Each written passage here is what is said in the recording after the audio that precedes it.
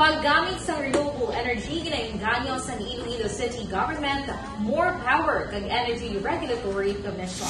Ginpirmahan sa Iloilo City Government more electric and power corporation kag Energy Regulatory Commission kon ERC ang isa ka tripartite agreement nga may katuyuan nga inganyohon ang paggamit sa renewable energy sa syudad sa Iloilo.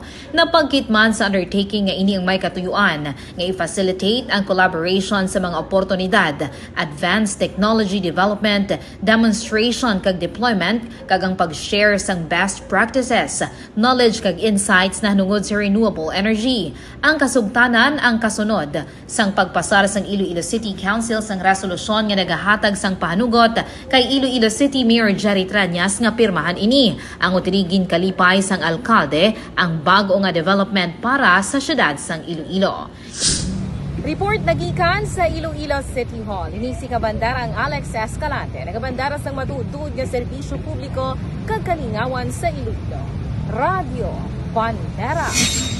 This news is brought to you by Are you experiencing body weakness? Do you have delayed wound healing? Do you feel hungry all the time? You may have diabetes. A powerful duo to help diabetic. Natural way of lowering blood sugar level. Clinica DTX 500 is a powerful duo that combines of ampalaya extract and the sugar sugarcane extract. Clinica DTX 500 stimulates the production of insulin, enhance conversion to energy.